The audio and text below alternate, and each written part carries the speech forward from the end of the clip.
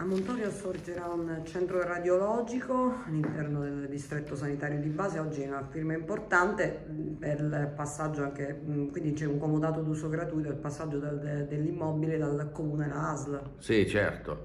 quello trattasi di una struttura comunale che con la firma del, comodato che abbiamo sottoscritto oggi data, entrerà nella nostra disponibilità e in questo modo andremo a realizzare dei lavori per mettere dentro un eh, centro radiologico di primo livello,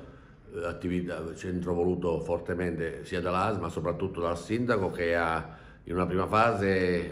reperito i soldi da parte dell'Agenzia di Coesione Territoriale e poi direttamente tramite fondi che dallo, dal medesimo eh, trovati eh, e quindi messi a nostra disposizione per poter dar corso a questa importantissima struttura. È una struttura, è il, forse il primo centro del genere che viene realizzato in una struttura non ospedaliera e, andremo ad installare in questa struttura un telecomandato della tradizionale radiologico, un ecografo, un ecografo multifunzione, un mammografo e un dentascal, e un dentascal quindi eh, tutte eh, attrezzature per una radiologia di primo livello. L'importanza è dovuta sia al fatto che questa struttura eh, darà un supporto anche all'attività ospedaliera per alleggerire tutte le richieste che vengono dalle zone montane eh, dell'Alta, del Gran Sasso e della Laga che eh, abbraccia un bacino di circa 30.000 persone. E poi per dare un supporto anche per eh,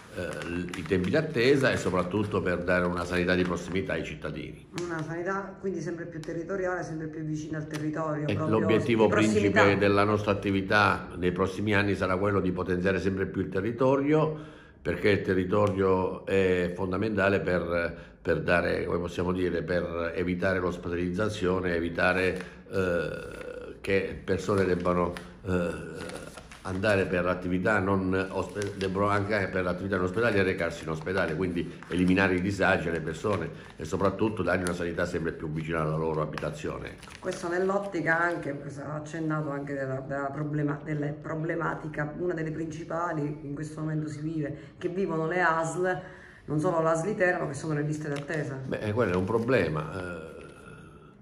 lo, lo, lo stiamo affrontando, cerchiamo di risolverlo e eh, questo è quello che noi mettiamo in atto, ne ho parlato tante volte, ehm, sono intervenuto ultimamente per ribadire in, eh, via definitiva che noi lo, l'abbiamo fatto questo intervento chiarificatorio sia per salvaguardare nell'interesse dei cittadini e soprattutto per difendere l'operato dei sanitari che si stanno prodigando al massimo per eh, addivenire alle richieste che vengono dalla, dalla, dalla popolazione.